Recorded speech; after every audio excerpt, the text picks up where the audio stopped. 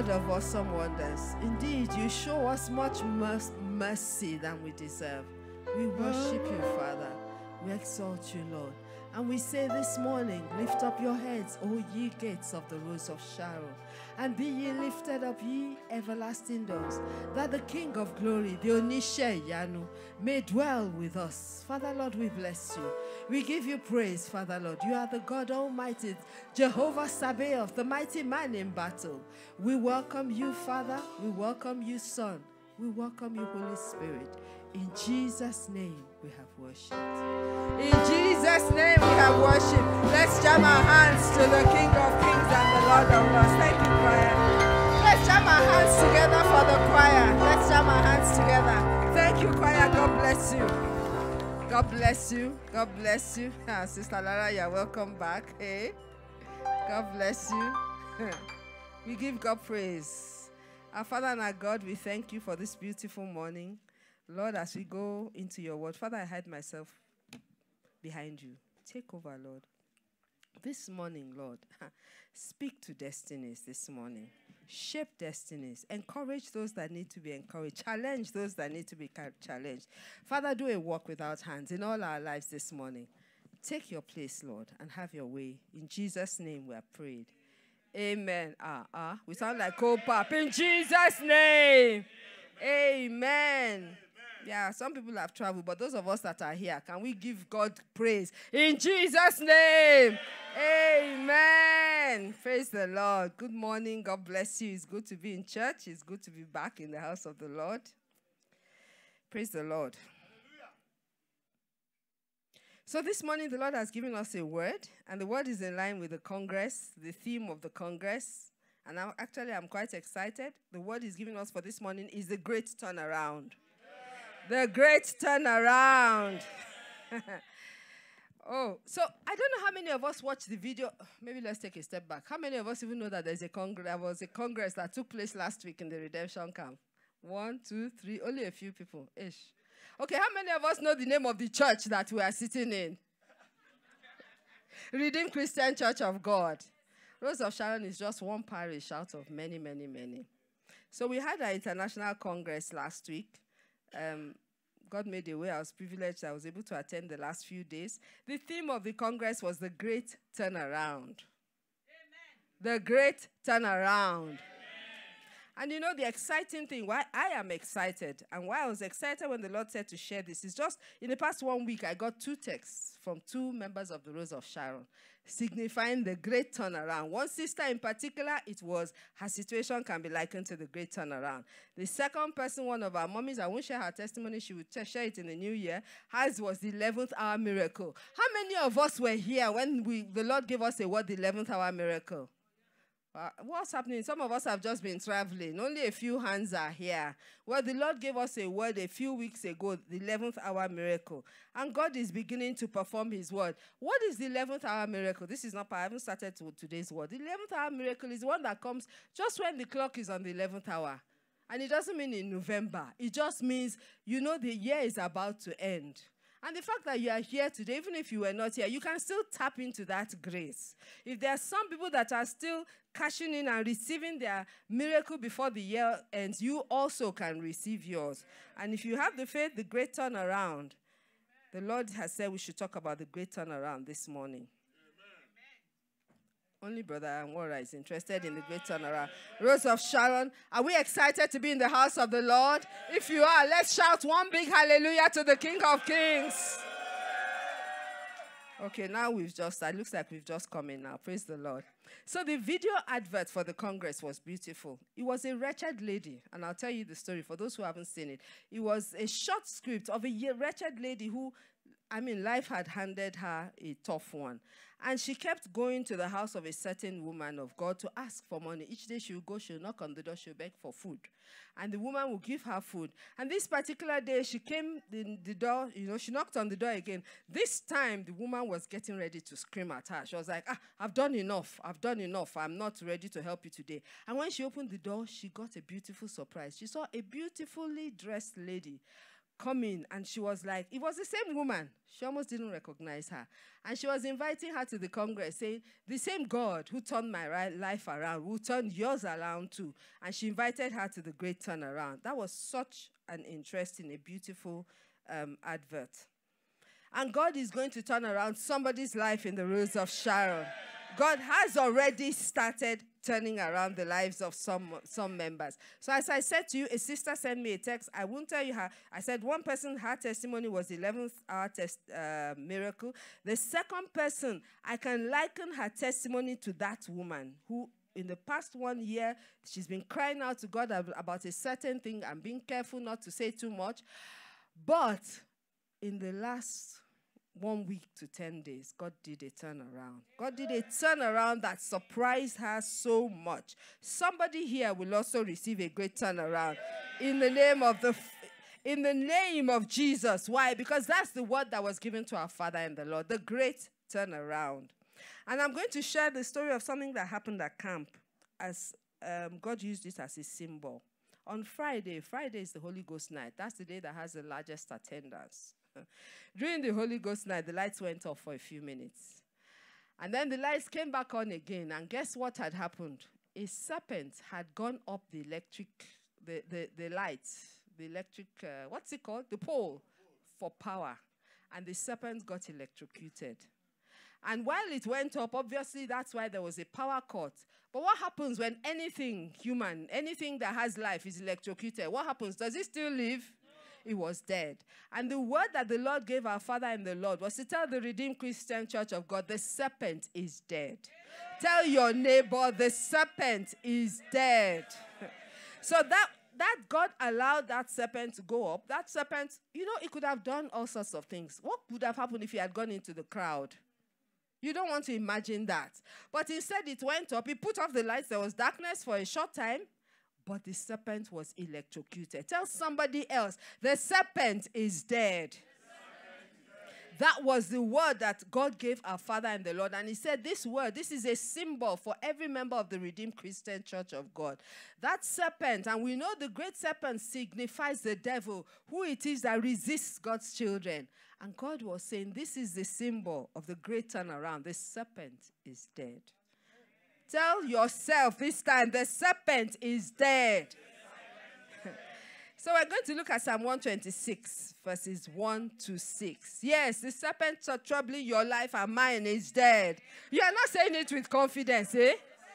If God could go to the extent of using a life example of a serpent going up the pole and the lights went out in the maybe to just let you know the the the the numbers that are in the Congress, ah, in the past Congresses, they have run to three, four, five million. So just to let us know that when we talk about a serpent going up and lights going off in an environment where there are so many multitudes of people, it is a serious thing. But God then causes an electrocution of that demonic thing. I, I would expect that we'll be more excited. Tell yourself, the serpent troubling my life is dead. We're going to look at Psalm 126 from 1 to 6.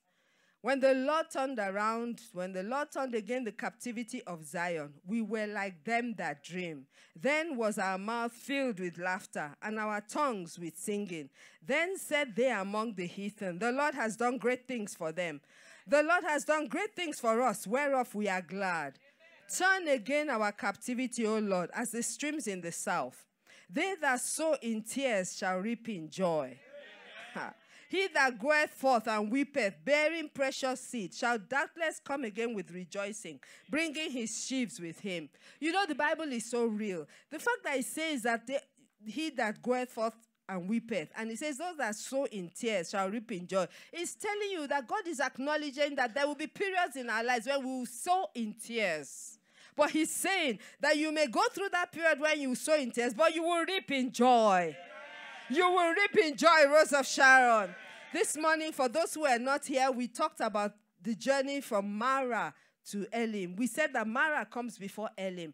Elim signifies abundance, it signifies fruitfulness. It signi- we, we liken to it to a place like Bahamas, like Seychelles, like Mauritius, whereas Mara is a place of bitterness. But we mentioned this morning, and I'm not preaching the sermon, we mentioned this morning that Mara is on the way to Elim. So for some people, maybe this year you have been to Mara, maybe this year you have faced bitter situations. The Lord was encouraging us in the first service that Mara is on the way. It is but a stop on the way to Elim. Trust God that no matter what, as you are going, if you have gone through Mara or you've been through Mara or you feel that you are still in Mara, you will get to Elim. And know that even that Elim is not the destination. Canaan was the destination. Rose of Sharon, you will reach your destiny in the name of Jesus. So perhaps you've been coming to the house of the Lord sowing seeds of weeping. The Lord will grant you a great turnaround. He is faithful, like He did for the sister we mentioned, like He did for the woman of God, the other person who we mentioned. He will do the same for you.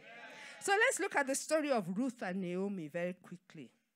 Ruth, we're going to read, I'll, I'll read one, uh, Ruth chapter 1, 1 to 5. Um, and then we'll, we'll go on from there. So, who was Ruth and who was Naomi? There was a family in Israel. There, God's uh, Elimelech was the husband, Naomi was his wife. They were from Bethlehem in Judah. And the time came when there was a famine in, in the land of Israel. And Bethlehem is in Judah. Judah, we know, is one of the 12 tribes. There was a famine. And Elimelech, we said it this morning, Elimelech decided to go down to Moab.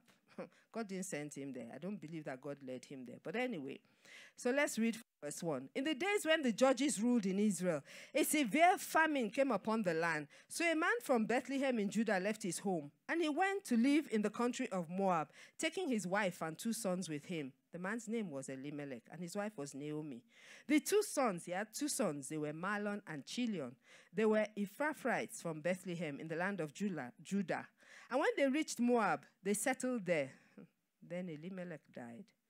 And Naomi was left with her two sons. The two sons married Moabite women. One married a woman named Orpah, and the other married a woman named Ruth. But about 10 years later, both Mahlon and Chilion died. This left Naomi alone without her two sons or her husband. So let's look at a little bit of a background. First of all, Naomi means pleasant or amiable. Mara represents bitterness. We talked about that this morning. Mahlon means sickness. I don't know why a person will name their child sickness. Chilion means consumption. And Ruth talks about beauty. So just something that's just a little bit of jara, if I may use the word jara. Jara is extra on the when the woman in the market is selling. A little bit of jara, which is not part of the sermon for some people here. Please, when you name your babies, give them names that signify a glorious destiny. Don't give them names like sickness and names like consumption and names like obituary and names like failure. Some people are laughing because those names exist. And some people, their fathers, their parents give them good names, and then they get to college and they give themselves stupid names. There was once a man. So please give your children good names. And if it's you that's giving yourself a name, give yourself a good name. I thought more than one person would say amen to that. So let's go back to our story. So Elimelech moved his family to Moab, a heathen nation. So let's look at that. Elimelech was an Israelite from Bethlehem in Judah. Judah was in the times of the judges, a time when people did as they pleased, a time when Israel kept sinning against the Lord. So when famine came upon the land, famine very likely was promised in the Bible in the book of Deuteronomy that when God's children sin, famine will come upon the land. So famine came upon the land. And then Elimelech decided to move to Moab. Ha. Let's look at the background of Moab. Who are the Moabites? First and foremost, Moab and Ammon resulted from an ancestral relationship that Lot had with his children. His children got him drunk. Lot was Abraham's nephew. His children, his daughters got him drunk. They slept with him, and that was the beginning of Moab and Ammon. So, first of all, Moab is not a nice place to go to because Moab is a nation that, you know, comes from an ancestral, incestuous relationship. They were one of the tribes in Canaan, they, in, in, in the land before Israel came in, and they worshipped other gods. They worshipped a god called Chemosh.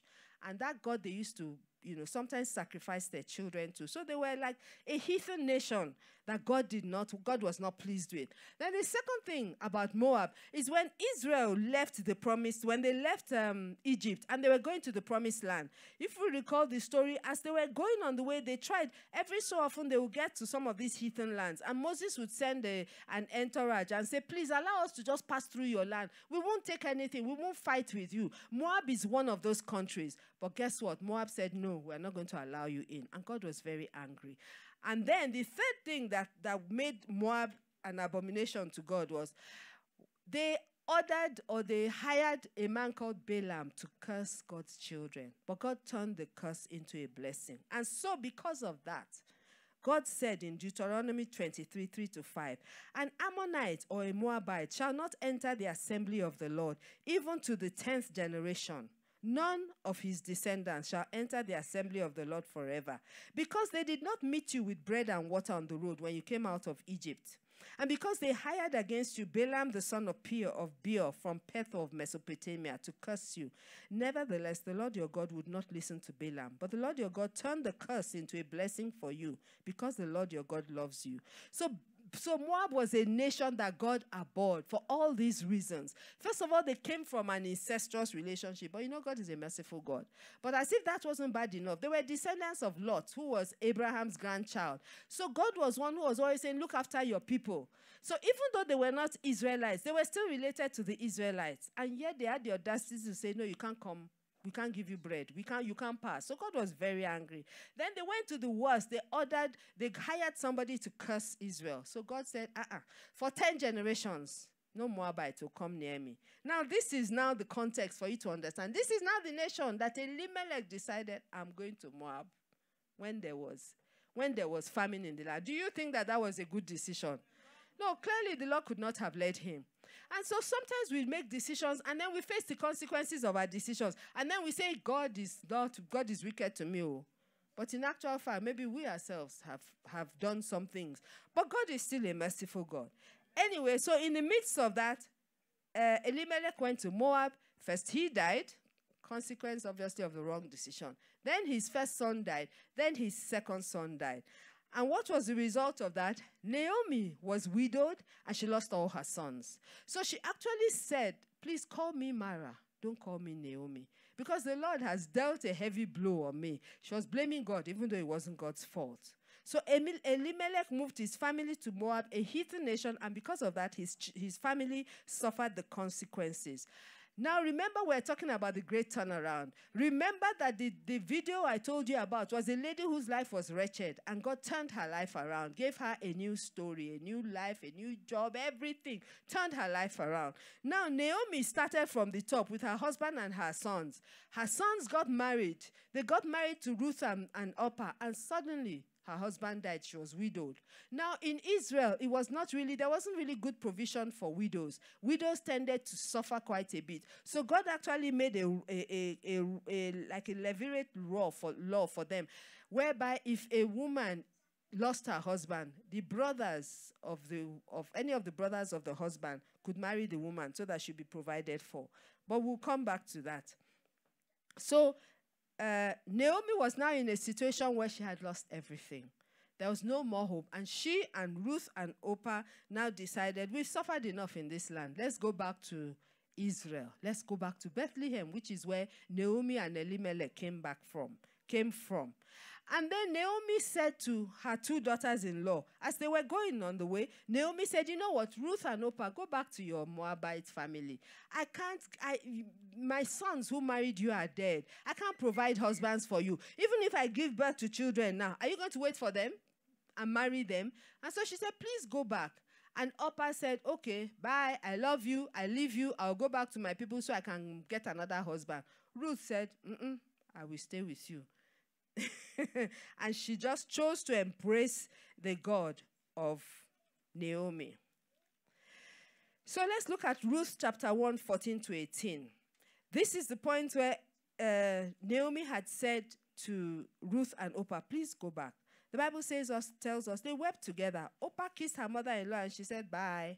But Ruth clung tightly to Naomi and she said, look, Naomi said to her, Your sister in law has gone back to your people and her gods. You should do the same.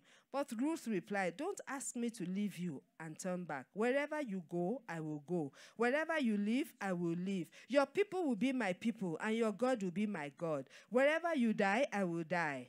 And there I will be buried. May the Lord punish me severely if I allow anything but death to separate us. When Naomi saw that Ruth was determined to go with her, she said nothing more. You know, this story just comes very simply. It seems like, ah, how come?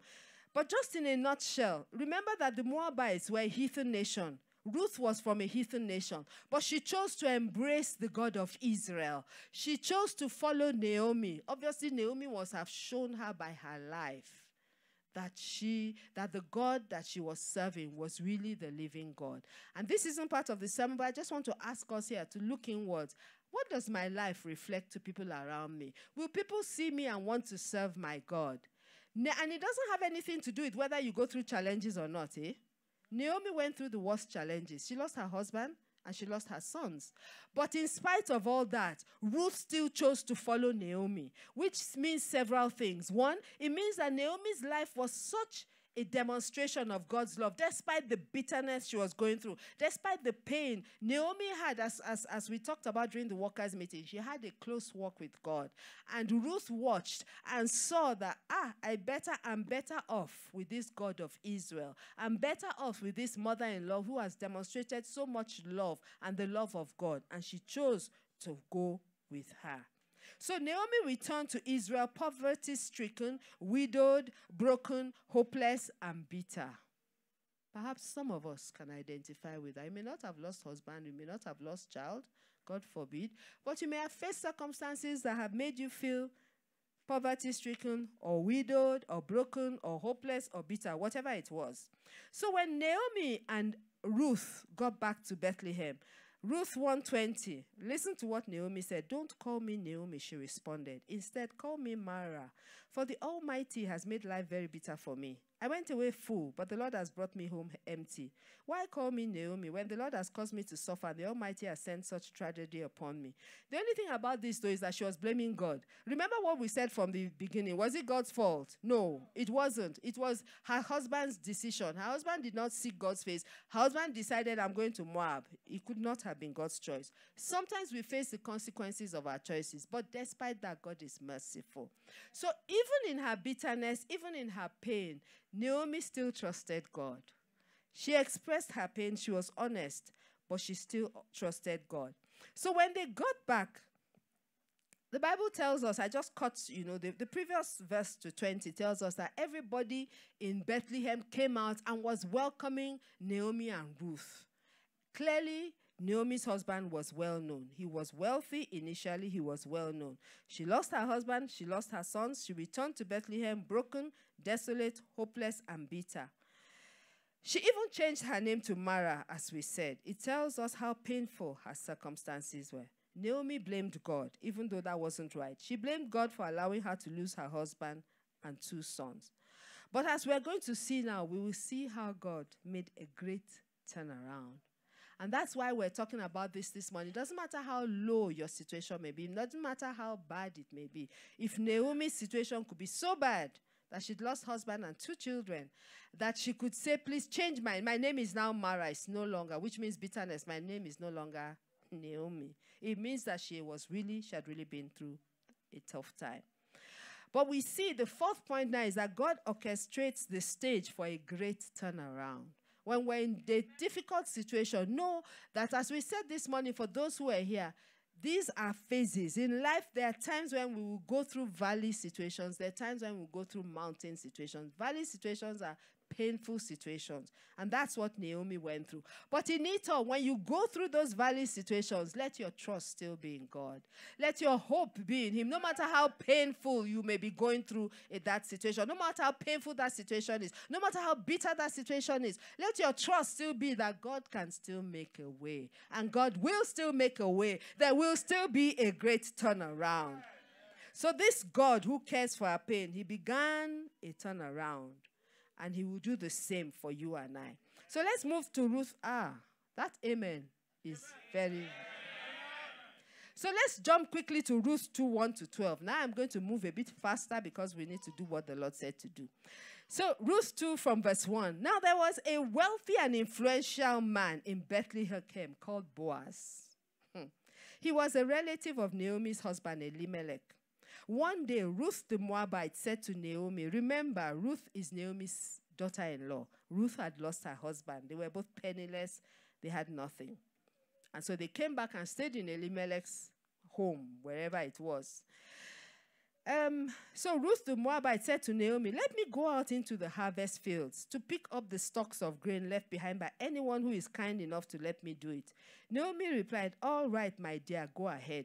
Let me just tell you the culture in Israel, this was a rule that God gave. He gave that rule for the poor. Whenever it was a harvesting time, the rule that God gave is when you harvest your, your stalks, always leave the corners. Don't harvest everything. Leave some so that the poor can come after and they can take something for free. Hello, are we still in the house? So this is it was based on this culture. Naomi was not uh, Ruth was not going to sit at home doing nothing. And maybe that's another question, which is not part of the word I want to ask. Sometimes when we go through these bitter situations, what do we do? Do we sit at home feeling bitter, waiting for God to change, or do we get moving and do something? Ruth was not going to just sit on her backside and wait for something to happen. She went out there and she said, Let me go out. She said to her mother, I will go out and let me see if I can harvest. And her mother in law said, Yes. Verse 3 So Ruth went out to gather grain behind the harvesters. And as it happened, she found herself walking in a field that belonged to Boaz. Remember, Boaz, the Bible says, was a wealthy man. But not just that, he was the relative of her father in law, Elimelech. So while she was there, Boaz arrived from Bethlehem and he greeted the harvesters. The Lord be with you, he said. The Lord bless you, the harvesters replied. Then Boaz asked his foreman, foreman, foreman, Who is that young woman over there? Who does she belong to? And the foreman replied, She's a young woman from Moab who came back with Naomi. She asked me this morning if she could gather grain behind the harvesters. She has been hard at work ever since, except for a few minutes' rest in the shelter. Boaz went over and said to Ruth, Listen, my daughter, stay right here with us when you, when, when you gather grain. Don't go to any other field. Stay right here behind, behind the young women working in my field. See which part of the field they are harvesting and then follow them. I have warned the young men not to treat you roughly. Let's just stop there. You think it's today that rape started? Hello? Or what do you think this is talking about? Or you think they'll just go and smile and touch her? He warned them, don't move near that woman. Hmm. So she had been, um, where are we now? What verse? Verse 9. Sorry, I'm not wearing my reading glasses. Okay, see which part of the field they are harvesting and then follow them. I have warned the young men not to treat you roughly. And when you are thirsty, help yourself to the water they have drawn from the well. I have warned the young men. Oh, sorry. Ruth fell at his feet and thanked him warmly. What have I done to deserve such kindness? She asked. I am only a foreigner. Yes, I know, Boaz replied, but I also know about everything you have done for your mother in law since the death of your husband. I have heard how you left your father and mother and your own land to live here among complete strangers. May the Lord, the God of Israel, under whose wings you have come to take refuge, reward you fully for what you have done. Perhaps there's somebody here that you feel desolate and abandoned, and you have gone to take refuge in the Lord. The Lord, the word of God says that the name of the Lord is a strong tower. The righteous run into it and are safe. God's word is to somebody here. It says by the Spirit of the Lord, there's someone here who I can liken to Ruth, and you've gone to hide behind the Lord. You are looking up to the Lord in your situation. The Lord says to tell you, He will not fail you. He will not fail you. You will not be put to shame. So Boaz then made a blessing for her.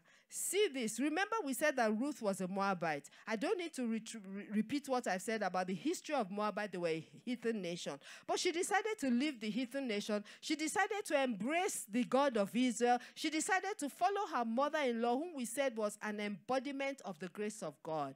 And we asked ourselves, Does my life, is my life such that somebody will see me and say, Let me follow you to your God? Uh, you, don't, you don't need to tell me. You just think and answer and tell your God so he can help you. Each one of us needs to be able to answer that. So I'll jump to Ruth 3 1 to 4. But let me just pause there. So, what is happening here? Remember, I said to you that there is a law in Israel. There was a law in Israel. whereby it was to provide for widows because widows ended to be pe- ended up being very like very often penniless like Naomi was. So God made this there was this rule anyway in Leviticus whereby if a man died, any of his brothers could marry the wife of the dead dead brother and any child that they had would carry the name of his brother it was to perpetuate the, the name of the family and also to provide for the widows. So Ruth got back with Naomi and she said, Let me go and glean in the field. And they went and gleaned, and she just so happened to glean. She just picked a field. We will say, man will say coincidence, but God was ordering her steps. She so happened to pick the field of Boaz, who the Bible says was a very wealthy man, but was also a relative of her late father in law. Do you see what is happening? God was setting, setting the stage for re- restoration and everything else for Naomi and Ruth. So, Ruth 3 1 to 4, let me read that very quickly, then we'll, we'll talk about what God did. So, one day Naomi said to Ruth, My daughter, it is time that I found a permanent home for you so that you be provided for. Remember what we said? For widows to be provided for. Boaz is a close relative of ours. He has been very kind by letting you gather grain with his young women. Tonight, he will be winnowing barley at the threshing floor. Now, do as I tell you take a bath, put on perfume. Hello? It's the Bible we're reading. No, we're not reading Hello magazine. See, the Bible is very practical. Some of us don't like to read our Bibles except on Sunday. It is very interesting and it's very practical. So she says, Now do, this is verse 3. Now do as I tell you, take a bath, put on perfume, and dress in your nicest clothes. Then go to the go to the threshing floor. But don't let Boaz see you until he has finished eating and drinking. Be sure to notice where he lies down. Then go and uncover his feet and lie down there. He will tell you what to do. Hello, caution to the sisters. Please don't take this as a rule to say, let me go and find the husband I want. The Bible says, He that findeth a wife findeth a good thing and obtaineth favor with the Lord. This was based on a culture in Israel at that time, a culture that provided for widows. That was what that was what Naomi was basing her direction to to uh, Ruth on. Secondly, she knew that Boaz was a man of integrity. She knew that Boaz would not touch Naomi. Sisters, go and, don't go and put yourself in danger. Oh. Hello. Uh, you are not answering. Don't go and put yourself in danger oh, and say you are going to put yourself under somebody's blanket. Don't put yourself under somebody's blanket, please. anyway, so Naomi gave um, Ruth these instructions. And what was happening here? Naomi wanted to find a husband for Ruth in Boaz using the law of the kinsman redemption. That's the one I said to you about, where a man is allowed to be a kinsman redeemer to marry a widow in his family. Um, so, according to this law, a close relation was allowed to redeem the inheritance of a dead brody, uh, of a dead brother, but was required to also marry the widow of the dead brother and raise up seed to sustain the widower's name in Israel. So Naomi gave Ruth certain instructions. One, wash and anoint herself with perfume. Two, get dressed for the occasion and go to the threshing floor at night where Boaz would be, would be guarding his harvest. Boaz had the reputation of being an honorable man who would do the right thing. So remember, I mentioned it that he would, Naomi knew he would walk in integrity. He wouldn't jump on Ruth. As a matter of fact, he even said to the men, Don't touch her, don't harass her. So he told her also to hide herself to the right time, then lie at his feet and wait for his instructions. I just feel led to tell some sisters here. Sometimes a sister may feel led of the Lord that this is the Lord. The Lord may show you that is your husband. But what you must do is what Ruth did. Wait until the right time. The husband will find you. Uh, that amen is so quiet. Wait until the right time. The husband will find you. Even if you receive, you feel that, oh, God is saying to me, is this brother somewhere? Don't go and meet the brother and say, uh-huh, haven't you heard from God? It's not like that, too. Just wait and allow him to find you. So, as we round up this, Ruth 4 9 to 10, Boaz marries Ruth. Um, so, let me just tell you what happened in between. So, Ruth obeyed uh, Naomi. She obeyed her mother in law and she went and she lay uh, just at the foot of the, you know, where Boaz was sleeping. And then he woke up and found her and said, Ah, who is this? And she said, It's me. Please stretch your blanket over me. Be, and, and that was significant. What she was saying is, Be my kinsman redeemer. Now, this required humility. It required her humbling herself. It required her eating humble pie, if I may use that word. Because she also knew that Boaz could reject her. He could very well say, eh, eh, I can't be your kinsman redeemer. Let's go and find somebody else. So she obeyed her mother in law. She lay there quietly. When Boaz realized, she said to him, Stretch your blanket over me to be my kinsman redeemer. And then Boaz said, I will do that. However, there is a closer relative. He knew that was a law in Israel. But he said to her, There is somebody else who is closer to your husband. Let us uh, let me follow this up and I'll come back to you. If he will be your kinsman redeemer, it means he will marry you. If not, then I will do the honors. And so let's see what he did. Uh, Ruth 4 9 to 10. The Boaz said to the elders and to the crowd standing around, because he went to the city gate. The city gate in those days, you can liken to going to the hall, the town hall. And he said there, oh, and then he said to the people in the city gate, he said that Naomi is back Naomi, the wife of the late Elimelech, is back. And um, we all know that Elimelech is dead. But now she has the property of Elimelech. And we need a kinsman redeemer to buy that property. And immediately the man that he was talking to said, Oh, I will buy the property. Ah, then Boaz said, No problem. But when you buy the property, you inherit the wife of Mahlon, whose name is Ruth, because when Elimelech died, the property fell to her. And then the kinsman redeemer said, ah, No, it is for my inheritance. I can't marry her. Which was fine. God was orchestrating all this. So Boaz said, I will do the honors. So at the end of the day, Boaz, I won't bother to read that. I'm going to jump to verse 13. So Boaz said, I will do the honors. I will marry Ruth. See how God set the stage for Ruth to be sorted out. The Bible says in Ruth 4:13, so Boaz took Ruth into his home and she became his wife. When he slept with her, the Lord enabled her to become pregnant and she gave birth to a son. Then the woman of the town said to Naomi, Praise the Lord who has now provided a redeemer for your family. May this child be famous in Israel. May he restore your youth and care for you in your old age. For he is the son of your daughter in law who loves you and has been better to you than seven sons. Naomi took the baby and cuddled him to her breast, and she cared for him as if he were her own. The neighbor women said, Now at last Naomi has a son again. And they named him Obed. He became the father of Jesse, the grandfather of David. Hello, can you see this is awesome? Very awesome. Naomi was the wife of Elimelech. Elimelech died. Elimelech made a mistake in going to Moab. He died, and his two sons who got married, the two sons also died. Naomi came back to Bethlehem, poverty stricken, hopeless, thinking there was no chance for her. Feeling like maybe some people are feeling now, needing a great turnaround. And then God began to set the stage. God set the stage by, first of all, making sure that Ruth followed Naomi. And God set the stage for a wealthy man called Boaz, a man of integrity, a man that was respected in the land. Uh uh-uh. uh Can you have done anything better for yourself? Hello, what's happening on this side? Could you have done anything better for yourself? God orchestrated things so that Boaz, a man who was well respected, who was wealthy, is the one who now married Ruth. Now, not only is it that he married Ruth, they had Obed, and Obed is the father of Jesse, the grandfather of King David. And guess what?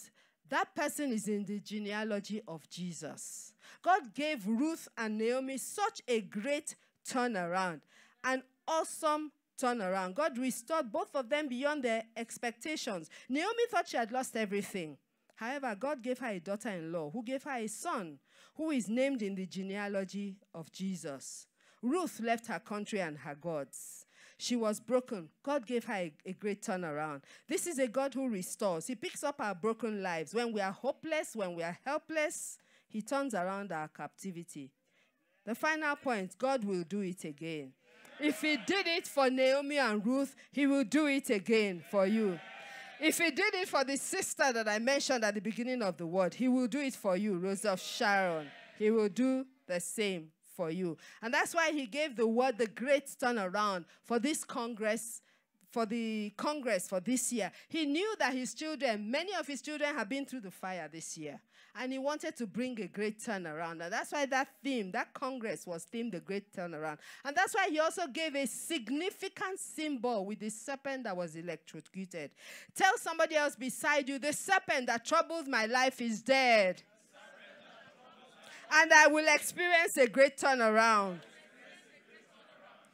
So, what the Lord has said we should do, we're going to do this morning. What He said we should do this morning, I'm not giving an altar call because everybody needs a great turnaround. Hello, doesn't everybody need a great turnaround? Yes. So, what the Lord has said to, we're going to do this morning, we're going to have five minutes. The altar is open. The only thing is you can't climb the step. If you want to, you can pray where you are. If you want to, you have five minutes. You can come to the altar and pour out your heart to the Lord. In five minutes, what is that thing that you need a great turnaround for? You can come to the front. The only thing I've said is you can't climb, but you can come to the altar. You can kneel at the altar. You can just pour your heart out to the Lord. Hello, Rose of Sharon. Or is it that nobody needs a great turnaround? So you may come forward. Those who want to come to the altar, the altar is open. You may come forward. I'm also going to just stay somewhere near the altar and just pour my heart out. We have five minutes to do this. And then we'll do what God said we should do. Just pour out your heart out to the Lord in that time. What is that thing you need a great turnaround for? it is that season now. And if you choose to stay where you are, you can stay where you are and pour your heart out to Him.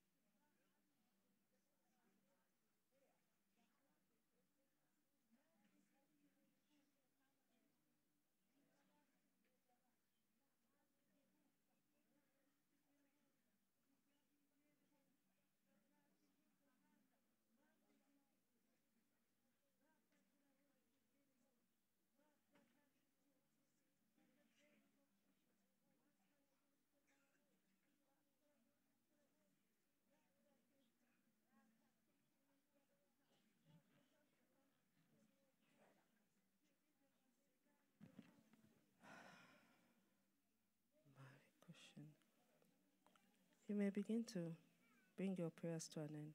You may bring your prayers to an end. Eternal Rock of Ages, we thank you.